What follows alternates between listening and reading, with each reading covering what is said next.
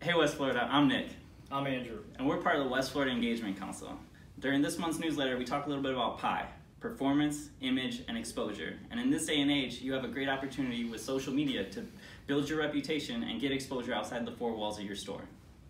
So you heard it right from the Engagement Council. What we want to see from you guys is your excitement, um, building your brand out there. So what better way to do that than through Win Local? So I encourage you all to go out there and visit the Win Local Hub, uh, where you can see all the best practices for sharing your social media. Be sure to follow us at Best of the West FL and hashtag your photos Best of the West.